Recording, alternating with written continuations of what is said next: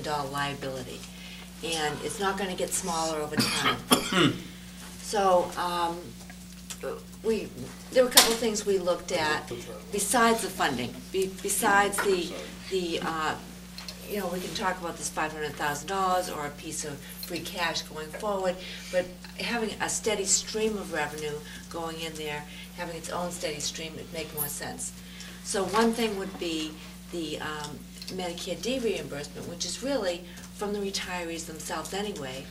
And it's, uh, you know, it's, it's a combination of the, um, what the town and the employees, or the retired employees, pay in for benefits for their own health insurance policies. So when that comes back from the federal government, it would make sense to have this go right into the, um, the OPEB fund to help pay for it. Last year, we've received about hundred and forty thousand dollars. We've received about hundred and twenty thousand dollars year-to-date. Uh, I don't expect it would go over hundred and fifty thousand dollars at any time. There's a, a flat forty, four hundred dollars per, um, Medicare policy, uh, that we received.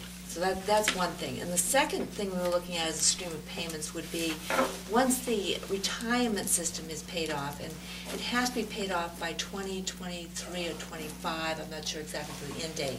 But when that happens, if we could divert the portion that is for past due liability, there'll always be a current liability, but if we could divert the portions from past due liability to the OPEB fund, and this is something that, again, that Floyd and I discussed, right to the OPEB, that gives another steady stream of revenue. Uh, And so that, those are two different ideas. Uh, It sort of rolls everything into one because, um, but I, One is immediate now and here and now, the other one one's, off in the one's off in the future. future, correct. Um, Angela, you have the last word, not the first. Well, just curious as to what we're currently using the money for. Well, it, last year was the first year we got it, actually. And uh, the state said it could not be used as an estimated receipt going into the future because you cannot count on it. The federal government is not, cannot be counted on for reimbursements of any kind. They just, they just She got don't that right always here. happen. Like the state government. Like the state government. They just don't So happen. this just goes into free cash. Right now, right, it just flows right in as a uh, non-recurring expense, that's what they call it, non-recurring. So, Barbara, with this proposed warrant article just do the first, not the second? Correct, correct. It's not an article, it's It's just. not it's not an warrant. article. There is something in here, If there absolutely. is, There some- is. if there, uh, can I, can I speak on that, please?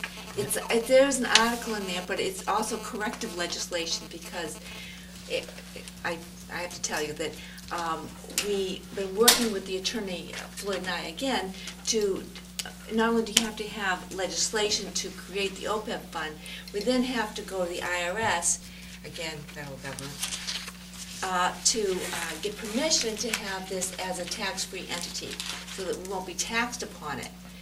And in order to do that, we had to write up a, a- a- an agreement, a trust agreement, that the IRS would accept for a tax-free fund.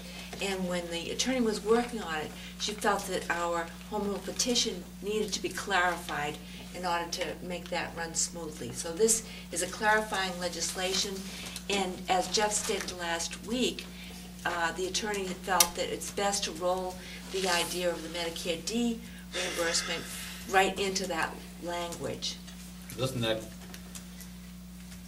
That's not- That kind of confines us, you know, that's, Mike's right, the Medicare D is in this, is in Article eighteen. Yeah, it's in- It's It's- part of Article eighteen. It's part of our, which is the, the changing of the home rule petition, correct? So there are really two, so we'll just put the pension piece out, you were just Correct, talking put about that- Yeah, that, I that's just way sort in the big future, picture, okay. right, right. So this article then does two things. One, it's a house cleaning, I guess, as you'd Correct. say. And then the other is a poli, not an unimportant policy decision. Correct. I think, I the house cleaning, I- you know, fine, but the, the policy decision, I, I don't know, I'm not sure I agree with the policy decision. And so I think it needs some, I mean, if the override failed and we had to go ahead and put hundred and forty thousand into this, I'd regret that. Well, it was getting a little ahead of the discussion here, but our, I mean, when we talk about Article eighteen, it's got eighteen B, which is the, the, where the money comes from, has at least three sections. One is all amounts appropriated or otherwise made available. And I don't understand why that couldn't include a year-to-year decision about what to do with Medicare Part D. What, you know, Right. and, and two is all amounts contributed or otherwise made available by employees, and three is Medicare Part D. So if we had, if we throw Medicare Part D into the legislation, then once we do that, we're, when we're saying forever, we'll contribute Medicare Part D to the We, we started out with special, with a, just an article directing those funds uh, into OPEB, and the attorney said that, why, don't you you spoke to the attorney about why you didn't like that language. Right, but I think uh, the chairman's question remains. Uh, i- i- If we want to establish a dedicated revenue stream coming from the Medicare Part D reimbursements that is, uh, applies through every fiscal year and doesn't have to be revoted each time, then this legislation is the appropriate means to do that. But it sounds like you're just questioning whether you want to do that.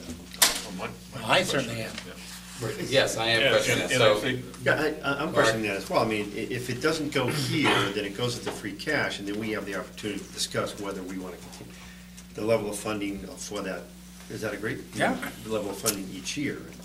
I'd rather approach it with that flexibility in mind. Barbara. Can I, um, I understand what you were saying about the DOR, and they were talking about OPEB being not something acceptable here in Massachusetts, or has not been accepted widely in Massachusetts, but it has been around the rest of the country. The rest of the country is already looking at funding the system. They're already looking at the whole picture. When Moody comes in to evaluate us, they're comparing us not to the other cities and towns here in Massachusetts, they're comparing us to the rest of the country. They're comparing us to Alaska and, and Alabama and Mississippi and, and California. They're not we look good compared to California. Well, Why don't we take right Mississippi now. first, then when I ask question? But so, Sorry, as Floyd was stating, uh, and this was in a conversation we had last week, we need to show that we have a steady stream of revenue, that, that we have, it's not just a, a whim of, this, there's available money this year, we'll put it in, but it can come out next year. But if we had a steady stream of revenue coming from two sources eventually, and that is part of the policy, and please, please Floyd, this was our conversation, so please jump in if you, if you like. Well, look, I, I guess, I think we understand the, Right. the Medicare Part D thing, um, and we can fold that into the discussion on Article eighteen. Um, And I don't, you know, it, it's just, from my perspective, it's one thing to say, we think we should have a policy of the town of Belmont to fund OPEB. It's quite another to have legislation that says every year you have to do it at a particular level. And so, I, I would like to, I mean, me personally, I would like to retain some local control over what we do with that money. And if the, if the state legislature passes a law says we have to do it, which we asked them to pass, then the only way we don't do it is by getting them to revote it, which seems to me that's not someplace I really wanna go. Uh, But anyway, Bill. Just a quick, can we find out what the potential uses, can we put that into free cash? I'd just like to have us, before we discuss the article, can we find out? It goes into free cash now. You can, when it goes into free cash now? Okay, thank you. Yeah. Thank you. Shows up. Angel. I was just going to echo your point, and we had talked about having a policy relative to deposits into the OPEB account from free cash, some percentage of that. We talked about sort of making that more official. This would just be item two on that list. is the way I see it. I agree with Right, you. yeah, it would certainly be very official. Yeah. All right, well, thanks. I mean, I think that it's pretty, it's, it's not that complicated, and it's something we can talk about. And, you know, we, we should fold in, at some point, not necessarily prior to town meeting, we really ought to have a focused discussion on exactly what we should be doing in terms of our OPEB liability, and, and collecting all the wisdom that we have, and possibly even having um, someone from Standard and Poor's or Moody's come and, and talk to us about that, what they're, I mean, I have read the Standard and Poor's literature on it, and I'm a little confused about what they're recommending, because they don't seem to be saying anything real clear. All right, um, well, we're on to minutes now, remarkably enough. We have a meeting that gets out early, and other, Does anybody have any, let's, let's elevate other in front of minutes for a minute. Does anything, anybody wants to talk about? Let me just throw something out. Uh, When institutions of higher learning build a building, they put names on everything. And then they get people to contribute for putting names on everything. And if we're gonna build this new Wellington building, why not rent out the name of each classroom? Because that's what they do, and you cut down the cost of it. And you can't get your name on a Harvard building unless you have a hundred million dollars. Uh, so you could get a lot cheaper name on a building or a, a classroom or something else, uh, if you rented out all the names on all of the new classrooms in the new school. Well, it's, you know, that's a useful idea, and. Do that? The, um, Peg, you're on the senior center building committee, right? I mean, they had a huge fundraising program and raised not insubstantial sum of money for the senior center, but I don't remember them selling off, They did, yeah. they did, there's. There's a naming rights. McLaughlin wasn't naming classroom rights at Suffolk Law School Yeah. for a few bucks. Well, then I'll be one of the Wellington School too, hadn't there? Well, well, I don't know. Yeah, no, when it comes down to putting out your own, you know, but we will, they were looking for a, a- a substantial donation and not a naming rights. Did they get it? No. No. And we had, we had donations in excess of a hundred thousand dollars and that did not They get the didn't cut it. Thank you. This is just a, a general comment on- in terms of the budget process. I'm sure we're gonna continue to discuss this uh, throughout our remaining meetings. But, but as we discussed, and we're gonna get by this year without an operating override, and the structural deficit likely will increase, and we're faced with these issues next year, I I I think we never, very early on, need to start to consider a, a process that is different than what we went through this year, and that means building budgets from the ground up, and working collaboratively with the schools in discussion of what their budget issues are, are as well, rather than sort of uh, piecemealing it, having meetings in which there's a lot of emotion expressed, uh, so on and so forth. It just seems to me, maybe not, maybe there isn't a better way, but very early on in the fall, when we start to meet again, we need to think about a different approach that makes sense, and not, not faced with uh, last-minute decisions on whether there's an override and what the amount's going to be, so on and so forth. Maybe there's not a better way, but it seems to me there should be. It's it's a better way. Okay, well, you know, no, uh, Mark, Is there well worse stated, and, um, you know, it, I will say something at town meeting, um, about next year, why, you know, how we got to this point, and then what we think about next year. And, and, the- you know, obviously, the honest truth is, we don't really know, we think that we have a, we, we think the next year is gonna require an override. Angelo has actually said, uh, several times that we don't really know that. I mean, we assume that that's gonna be the case. We don't know for sure what the budget picture is gonna look like. We certainly won't know in October with certainty what the budget picture is gonna be for FY ten. Um, and that's part of the, part of the process. I happen to think we're, you know, it's March twenty-sixth, the budget is pretty well done. We're gonna have it done at the April town meeting, which we haven't had in a long time. So we're actually ahead of the game We agree with from prior years. Um, Part of the, you know, the to and froing is this sort of conversation about a gap, and the side, I've always maintained that the gap, the, the side, the side of the gap that's defined by your revenues kind of stays fixed. I mean, that doesn't change a lot. The, the gap defined by what you would like to spend can vary quite a lot. And so part of the gap is shrinking what we want to spend every year. So, you know, and, and we always start out in January with, a- with a- a- people saying they'd like to spend a lot of money, and then it gets cut back. And, you know, that's just part of the process. Um, Part of the process is also waiting until certain kinds of information becomes available. You know, we don't know until February what the assessor situation is gonna be, even later usually. They were generous and, and came to a conclusion earlier. We don't really know until February or March, um, what the, you know, how, what the school's forty million dollar budget, what their health insurance account's gonna look. I mean, there's a lot of stuff you have to wait in order to, to really understand what it's gonna be. So I appreciate that there could well be a better way, and we'll certainly talk about it. Um, but I don't feel profoundly unhappy about the way it was done this year, so, Walter. Uh, What Mark said, I think is right. There, I, I don't think the question is whether there's gonna be an operational override next year. I think the question is how much. And I think you've gotta start letting everybody know that, yeah, there will be an operational override next year. What do you think? Uh, Is there any real question after you've squeezed everything out of every last account that you can play with in order to, to do it? Sitting here right now, I, I would, I wouldn't think that there was, but, you know, I just, you just, and, and I'm prepared to say that. I just don't, I don't wanna guarantee something that I don't know for sure.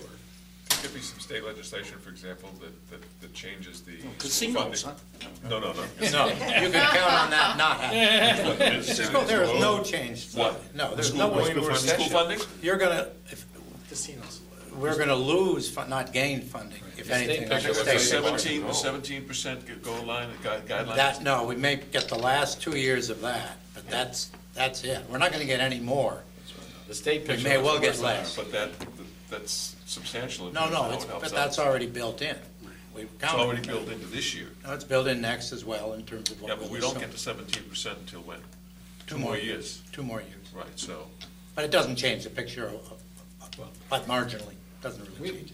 we, everybody, we will definitely take a look at, and I will, um, in concert with everyone else, take a look at how we can do this better next year. Avoid, avoid a lot of the public anxiety over, you know. I mean, don't get me wrong, gaps Phil, that- my, my comments weren't meant to criticize, you know, anyone in particular and, and how we do things. I've now been on here a fourth year, and it just seems to me that a different approach, if there is one, and I don't know if there is, but a different approach makes sense to me, more collaborative approach to things as well, uh, amongst all of the stakeholders in the budget process. Uh, And frankly, building from the ground up is a better way than, than not when you know what your revenues are. well, that's, goes back to the zero-based budgeting issue. I knew you were gonna get there.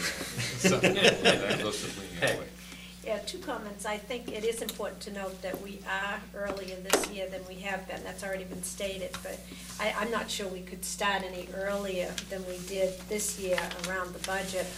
And when we do think about um, budget planning for next year, one of the things I don't think that worked very well this year was the opportunity that each of the departments had to, to list what their reductions would be um, if need be, because some departments did do that, others didn't do it. I'm not sure how seriously that piece was taken, and, and I think the hope is always that we don't have to make those reductions, but I think everybody should operate from the perspective that it's a possibility and really take it very, very seriously.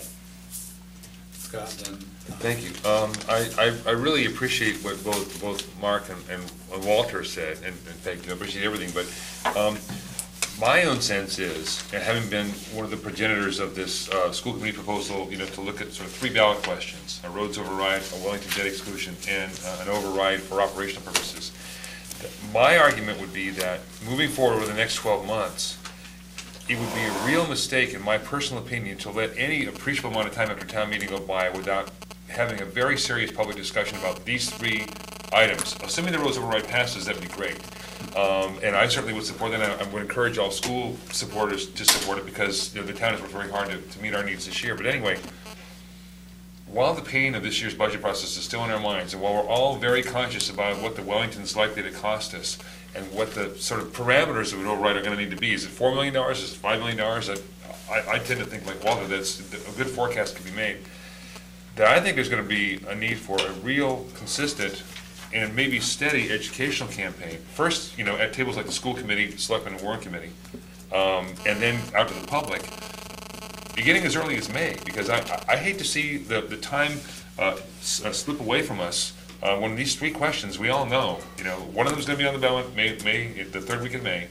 The other two are coming, and um, the longer one delays asking the important questions like, what does that override look like? How will we know and when will we know? Um, What's gonna be, is it gonna be something for more than one year? Uh, Are people gonna get a chance to load in things that they would like to do for enhancements? Are we just gonna hope to hang on for steady? I mean, there are a lot of policy questions that groups like the Warrant Committee, the schools, and the, and the selectmen could, and in my mind, should talk about earlier rather than later. So I would argue that May and June might be better months to set a framework in place in the context of all three of these ballot questions, than waiting until the fall and sort of saying, okay, let's start up the FY ten budget process, because I think we are in a very, we're, we're at a time where the public seems to recognize we have some very important things to talk about. And the more we talk about them in relation to one another, and with the realization that each one hits the wallets of the people, um, you know, in certain ways, um, I think the stronger the chances are that the public listens to all three of them.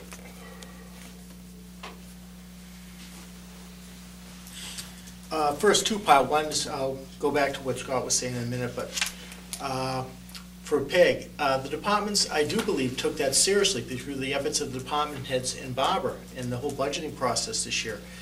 We did have that reduction plan built into the budget. So when it did have occur that we did have to make reductions, they had already had their input into it, we used that as the basis for making the reductions. So it was very easy for us to make those reductions, because we had already planned months in advance that this could possibly occur. So that's why you had that list so very easily made available. We just had to pick and choose which items we we're gonna do. The second part, for what Scott was referring to, we had already discussed this at our monthly department head meeting uh, a couple weeks ago uh, with Floyd and Barbara and the department heads. And half in jest, but half in truth, said, after town meeting, let's take two weeks off to get our batteries recharged, you know, you know, see the results, how it turned out. And then start begin the process of planning, putting the team together, what we need to look at for what, how we're gonna address the FY ten budget. Are we looking at enhancements? Are we looking at, you know, leveling it? How are we gonna plan this out? So we're not looking this as starting the process in October. We're looking at this as probably starting the process, at least the building blocks of that, uh, right after April town meeting. I, I just, uh, I, I agree with Walter and Mark's comments, and I think perhaps what could be helpful is to start the policy discussion sooner than later in the subcommittee process, as opposed to waiting for the numbers.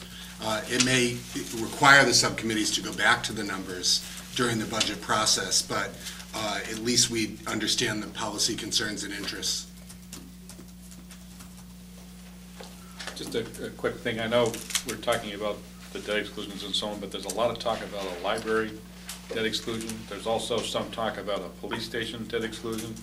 I think we ought to get all of these potential issues out on the table, not just Wellington, not just the, the uh, operating override in 010, and there's, there's a whole bunch of things I think the public needs to hear, and we've talked about, you know, laundry list of things giving people choices. I think we need to get everything out on the table, not just the ones that are gonna whack us first. We need to get the whole big picture out there instead of just pieces of it. Well, that could be an argument for another mega meeting in the fall. Well, there might be, and I don't know if that's the right way to do it. Yeah, I. Again, I- if, if we're looking at a time, a three-year timeframe, I don't see either one of those coming in in that, in that timeframe. I don't disagree with you, but you listen to library folks, they're pushing hard, they're going ahead, making plans, you know, to, to do that. So it's not as though they dropped this and don't want it to go away, so we're gonna have to deal with that at some point. Okay, no, well, no, your point's well taken, Bill. That we gotta understand, if we're voting the Wellington and operating override, people ought to know, is the police station a five or ten-year or a twenty-year proposal or, or what? So, you know, that's a good, that's, that's, that's very well said. You have to remember the special feature of Wellington, which is that we, we have a hundred and twenty day window if and when the state approves it, which doesn't exist in any of these other projects that I'm aware of. Right. Nor does forty percent state money. Right. Um, Okay. All right, on to the minutes. I gave my copy to Lisa. I don't have my copy, so, um, Chair Renzi, would you call your adjustments substantive? I don't have them in front of me, so if they need to be read aloud, I can't do that. My printer's in front. I don't have his changes, though. It was, So which meetings, Does that which have- minutes are we talking about? There's, there's one, there's one that I would call substantive, and that's the, uh, um, the one that I, it was under the health insurance increase, right? the hel- under the health, do you have the, do you have the minutes I have the there? minutes, I just don't have We your, can put it You on. could do it. No, no, no, next- it's We don't just need to one, do it it's tonight. Just one little- Just get out of the way. The, the only change was in the, um, um, discussion of the fall centered around a three point five percent increase assistant. Why don't we just put out a revised one? Yeah, let's wait and do it. Yeah, all right. And I It was just that it was, we would, the only change, was gonna make that it up, up. the only change was that we did not go to the insurance advisory committee for approval. We s- It was subject to their input. Okay, we'll, we'll circulate it. so I'll email his adjustments. Yeah, and we'll take them up for next time. Uh, and will we adjourn? I like that. As helpful as always. Mr. Barney, we have-